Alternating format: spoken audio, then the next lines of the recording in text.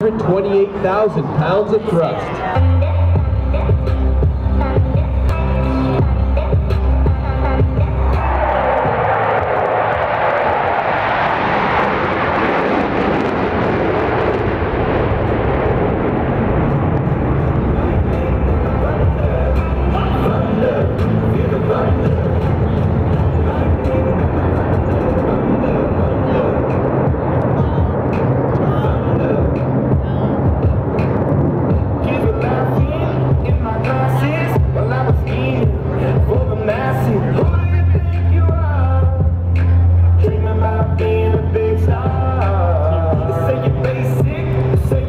See, while we ride in the back.